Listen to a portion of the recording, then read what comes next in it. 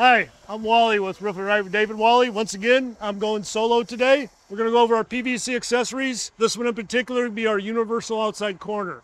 So there's a lot of different uses for these. There's a reason why they're called a universal corner.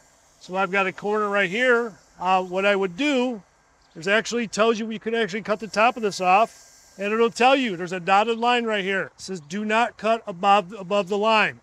So you actually cut this off and boom, I have an outside corner. Now there's other uses for these too, not necessarily outside corner, like on top of a parapet wall. I can use these here. If I have another roof section that jumps up, I can use it here on the outside of an edge detail, scuppers. There's all kinds of uses for these, hence the name universal. But today we're gonna be using on this outside corner. So once I get this cut, I mean, it's always good practice around your corners.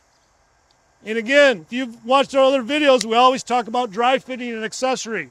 So here's my outside corner. So I'm going to dry fit this, see how it's going to work again before I tack it, before I weld it. Now right here we have, these are T-joint areas, and if you can see close here, this doesn't quite exact fit. We have a little bit hanging over the edge of this flashing. Again, that's going to be pretty tough to weld.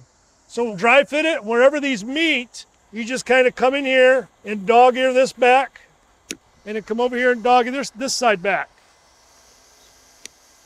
Okay, so again, we have T-joint areas. We got to pay special attention to these.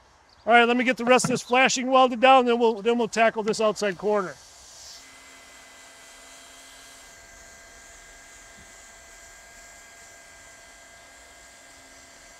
All right, remember we're welding PVC. That's why we got to clean that tip off because we're going to get some built up on the uh, edge of this tip.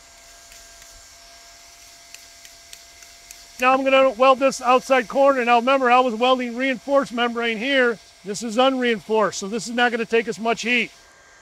Turn my gun down here a little bit. Now again, as an inspector, this is where they're typically going to find most of their voids or leaks. There's in these angle changes. And that's probably the area you want to tackle first. So this is how I do this. I'm not saying it's right or wrong. You may have a totally different way. That's fine. But at the end of the day, as long as there's a leak, that's all we're looking for. So what I typically like to do, I like to kind of get it where I want it, get it centered, I'm just going to give a little tack so it doesn't slide around on me. Make sure that's holding. Now I'm to lay a little heat on the outside. Soften this material up a little bit.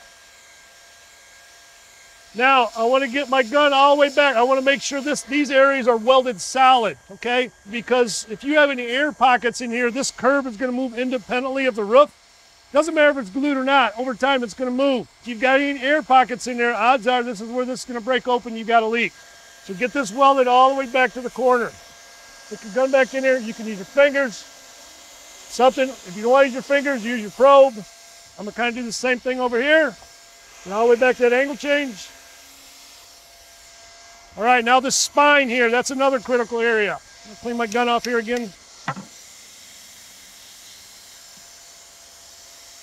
Now this unreinforced material, unlike the PVC standard, you're not gonna see a lot of bleed out.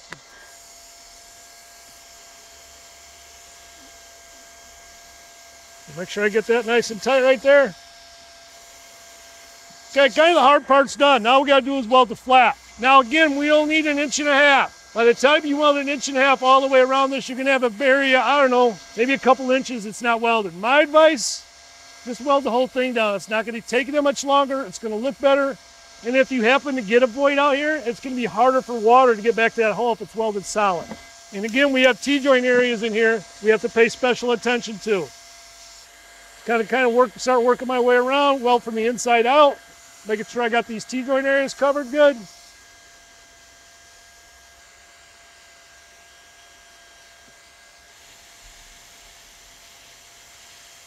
So here's where you got to stop and think and leave yourself an out. If I want to weld this all the way out, now I got to weld this. Well, if I got this welded solid, when I start to weld this, I'm going to have a pinch point. So basically, you kind of want to stop like right there, now when I weld this, I can drag my gun all the way out. I don't have a stop and start.